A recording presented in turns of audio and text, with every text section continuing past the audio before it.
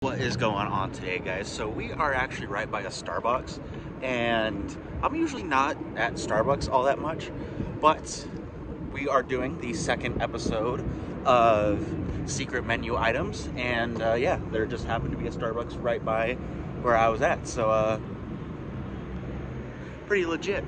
But yeah, other than that, um, we're gonna check out uh, some secret Starbucks menu items. So uh, yeah, let's uh, go into Starbucks and see if we can get them. All right, so this is supposedly the cotton candy. Or it's a venti bean caramel frappuccino with raspberry syrup. So.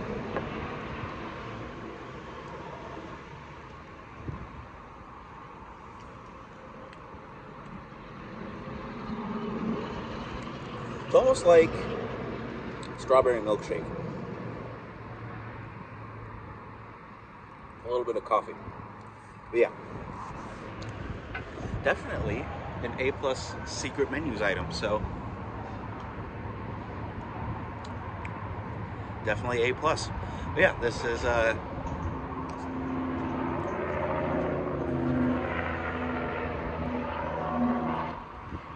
yeah, so